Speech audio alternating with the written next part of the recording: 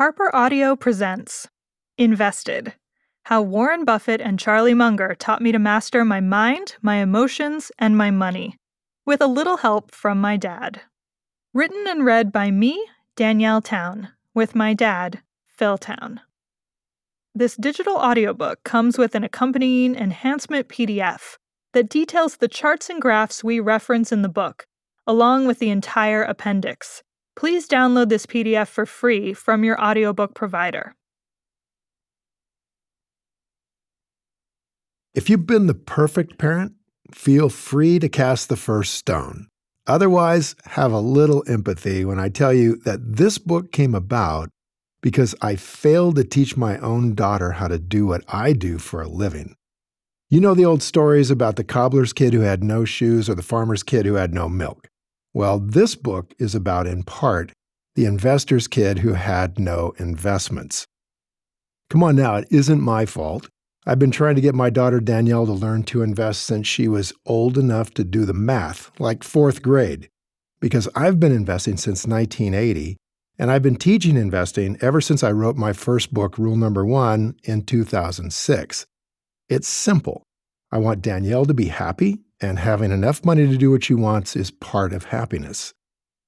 I knew I had to teach her myself because real investing isn't taught as a viable strategy anywhere except in occasional books and classes and by me.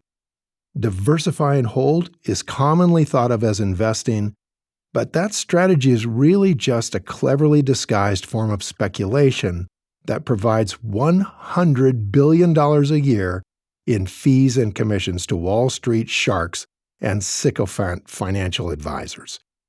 Buying stocks and bonds that you don't understand isn't investing. Warren Buffett says investing is buying an asset that produces cash flow for substantially less than it's worth, like buying a $10 bill for $5.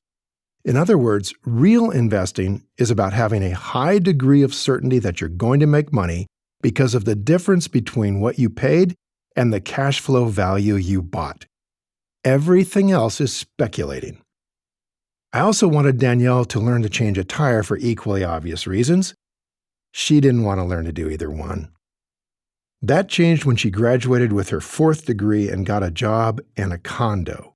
Suddenly, she was faced with taxes and student loans and mortgage payments and the shocking discovery that even for an attorney working in a good law firm and making really good money by anybody's standards, accumulating wealth was hard.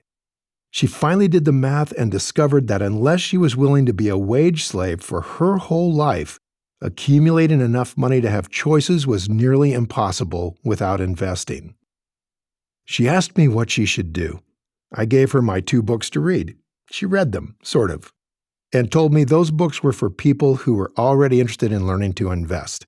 She didn't want to learn to invest, she just wanted the problem to go away. And thus began her journey that is this book. She thought about it for a few weeks and decided that if she could get interested in investing and actually learn it, anyone could.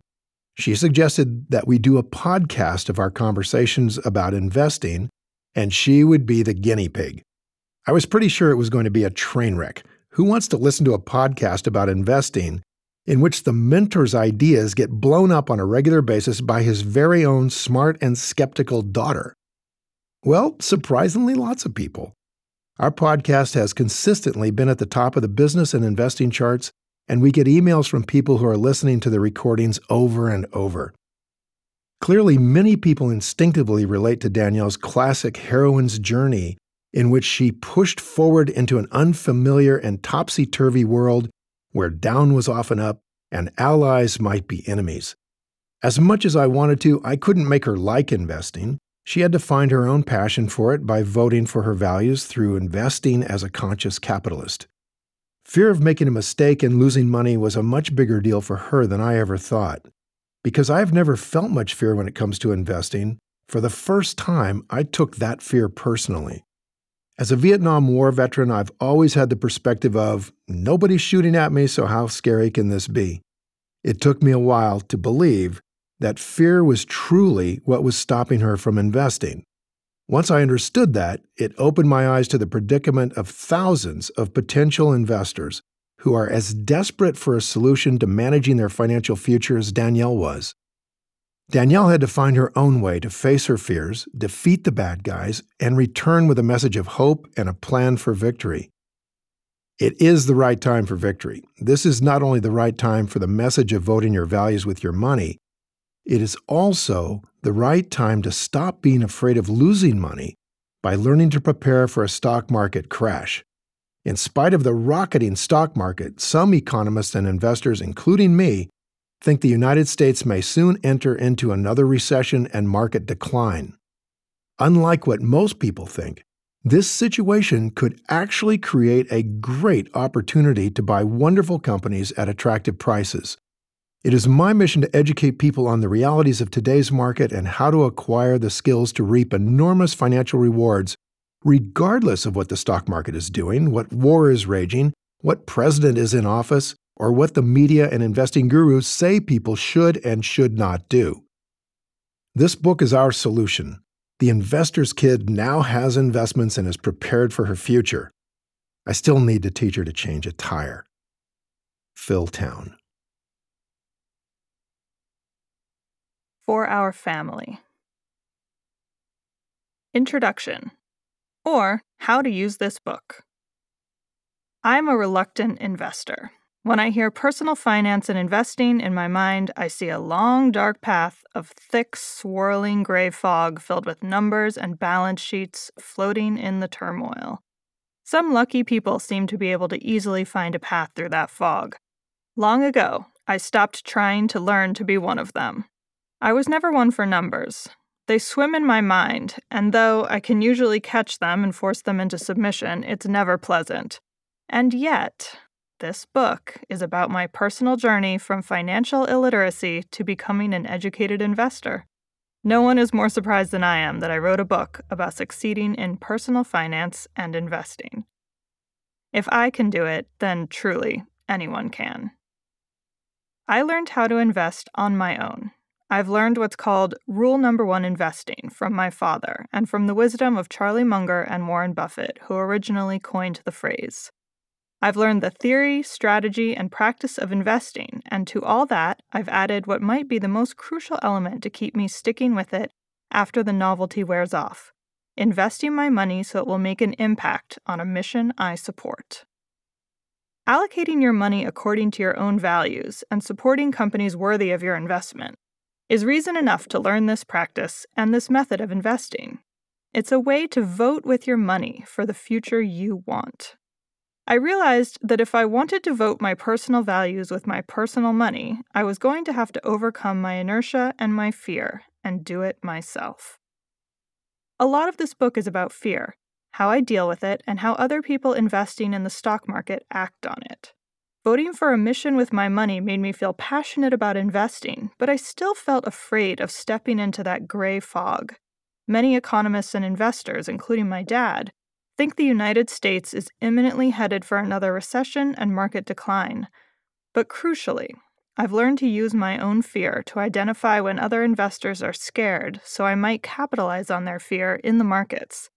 In these chapters, I will implore you not to overlook what fear can tell you being cautious is not a bad thing. But equally, I implore you not to overlook the power fear gives you. For example, I experienced the panic around the market crash of 2008, and it made me terrified of investing. But I've learned that a market crash is a natural part of the economic cycle that's going to happen whether I want it to or not. Regular market declines are inevitable. I also learned that even though it may seem counterintuitive, a crash is our best chance to leapfrog into financial freedom by buying wonderful companies on sale at bargain basement prices. It's the investment equivalent of getting designer clothes for half of what they would have cost at the department store. These are the kinds of lessons that have given me power and understanding over my fear and allowed me to transform my life financially. My dad and I have created an investing practice that anyone can do, no matter your age, income, job, or inherent math skills, which is set forth month by month. Each month of the year has a focus, along with detailed actions and exercises that support it. Most of the specific monthly tasks will take very little time, while others, such as the month practicing research, will take more diligence. Your time is limited and valuable, just like mine. This practice is meant to fit into the lives of all of us working full time and struggling to manage everything that has to be done outside of work. And I know it's a lot. This investing practice is designed to integrate into your life, not detract from it. Remember that this is your practice, and you should adjust it to do what works for you.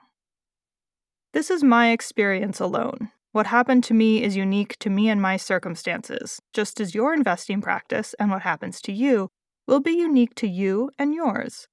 Practice makes perfect, but nobody's perfect.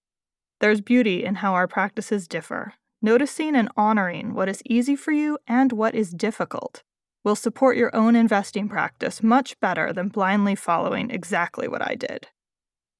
My experience gives you a barometer by which to gauge your own financial situation, along with the investing resources of the calculations, checklists, and worksheets provided throughout this book. Once you have your bearings, take your practice where you want it to go. Make the practice of investing your own, and you will have something that stays with you your entire life. A powerful skill that no one and nothing can take from you. I hope it compels you to think about your finances differently, not as a means to an end, but instead as a source of happiness and freedom. Happiness doesn't always feel happy, Gretchen Rubin wrote in The Happiness Project about small goals like flossing daily or decluttering shelves. When it comes to something as life changing as financial freedom, I think differently.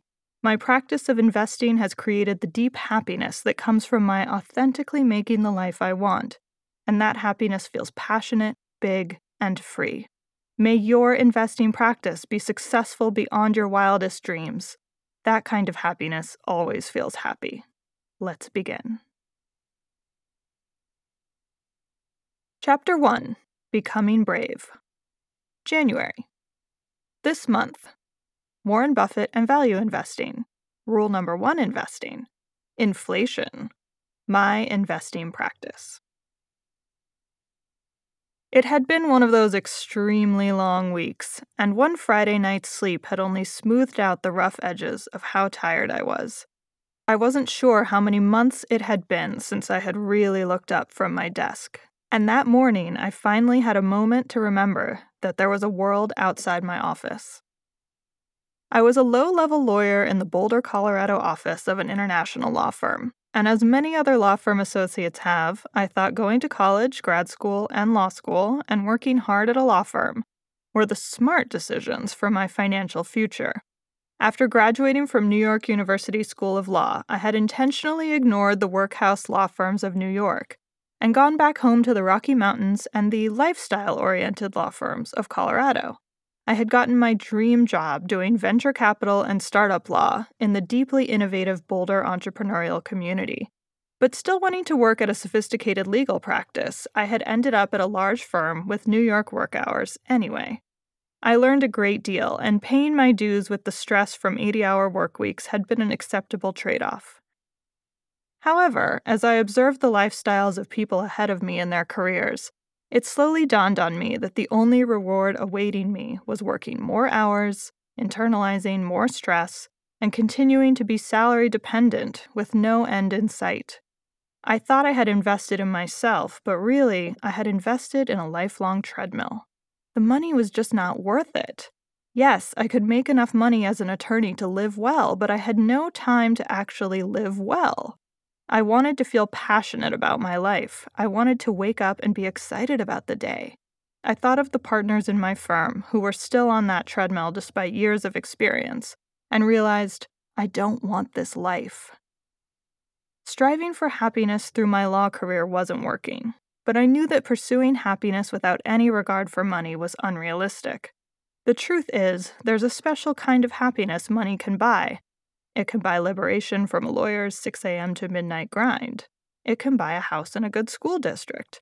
It can buy a permanent end to waking up at night anxious about medical bills, student loans, or a mortgage. And it can literally buy time and experiences and choices in life, like, say, a Porsche 911 and time to race it. The ability to do what you want feels like more than just happiness. It feels like joy. It feels like pure freedom. Looking out the cold window that morning, I did not feel joy.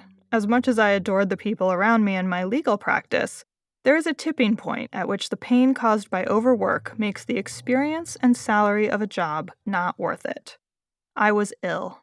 I hadn't been able to properly digest food for about two years, and I had begun vomiting randomly.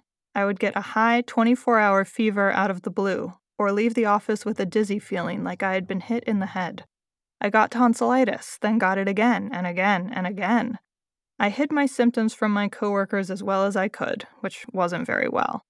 When I went on medication to control the vomiting, my doctor gently We hope you enjoyed this preview.